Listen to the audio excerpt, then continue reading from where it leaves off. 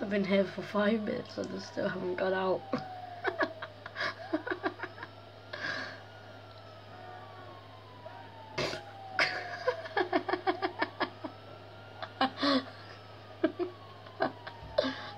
oh my god, the bumper's come off.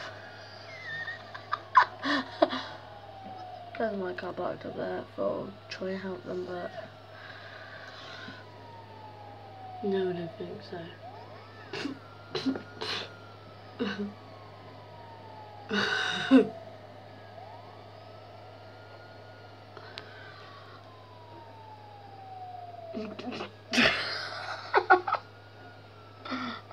I don't know how I got stuck here.